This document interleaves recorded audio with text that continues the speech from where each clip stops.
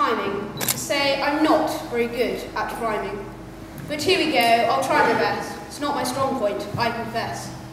When I come to write a poem, I find myself not knowing how to finish off a stanza without a great extravaganza. When I write about the cricket, that gives me an easy ticket. For if there's a batting collapse, I can make a link, perhaps.